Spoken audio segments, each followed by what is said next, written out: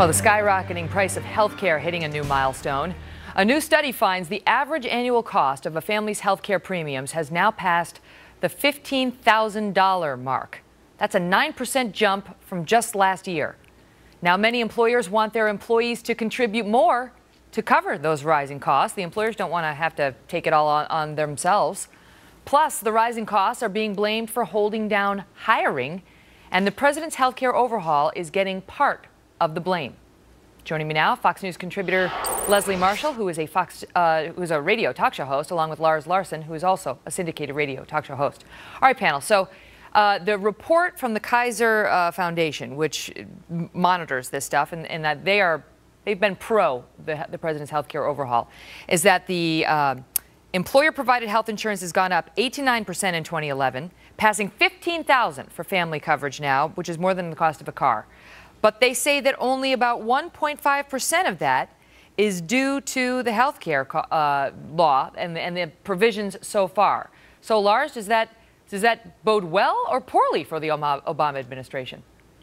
It really bodes poorly because ultimately the Obama health care plan called for covering another 40 million people in America, some of them the illegal aliens you were just talking about, and that's going to cost money. Obama tried, the president tried to say that this wasn't going to cost any more, but that's simply not true. They borrowed half a trillion dollars from Medicare, and that's going to hurt America's seniors. And this does not bode well because all those insurance companies are going to have to adjust their rates upward as the increased mandates, the illegal aliens, the uncovered Americans, and including a large group of young Americans who make healthy salaries above 50,000 who simply chosen not to buy health care. All those people have to be covered. This is it has yet to roll all the way through, but it's going to be a big barrier to making new jobs in this country. You know, Leslie, it says so we've got a 9% increase going in, but they say about a 1.5% of that is due to the president's health care law. Uh, nonetheless, you know, I think Americans, they, don't care. It's like 9%, right? They got to pay more at 9%. You know this because your, your husband's a doctor. So, what, what of the president's promise that this health care law would lower the costs to Americans? Well, quite frankly, if you remember, Megyn, and I'm one of the uh, Democrats that was in agreement with the president and other Democrats when pushing for health care reform, including a public option. I have said before, and I'll say it again, a mandate really doesn't work without a public option. And I think that this uh, study and this increase just shows why we need a public option because the public needs an alternative, an affordable option, the employers and the employees. In addition, when we look at 1% of 9%, that still leaves us with 8% and asking why was there an increase. I have to tell you, personally, and for my two businesses that I own, when I have called my insurer, who will remain nameless, and I've asked why the increases and what benefits do I receive, what increased benefits? None. And why the why the increase? They can't answer. And sorry, Lars, but they never say it's Obamacare. Well, you know who can answer? Uh, I, I mean, according to the New York Times, Lars, these insurance companies are jacking up the premiums on people and corporations because starting in 2012, the new healthcare law is going to require them to justify uh, raising prices.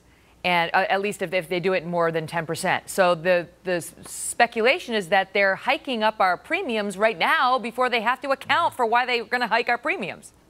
Mm-hmm. Well, part of the problem is that all these companies have to anticipate unknown future costs imposed by this new law, and they're going to have to get the money from somewhere. This is not a charity organization, these insurance companies. They are for profit companies. And I think a lot of them realize that a lot of big employers are going to start shedding their health care plans. That's why the Obama administration's already granted, in some cases, political favors 1,400 waivers to major unions and even whole states for mandates under the Obamacare plan. Those costs have to be covered by somebody. And to believe that all of this was going to happen without additional cost, Leslie, excuse me, although I am glad to say that Leslie's husband will help pay the cost because you know the administration is already going to say, already said that they're going to cut payments to doctors. So, Leslie, I'm sorry, but if you need some charity, Republicans are always good for that when they cut your husband's paycheck back. What, what is going to happen, Leslie? What is going to happen? Because right now we're only sort of on the front end of the mandates of the health care law. You know,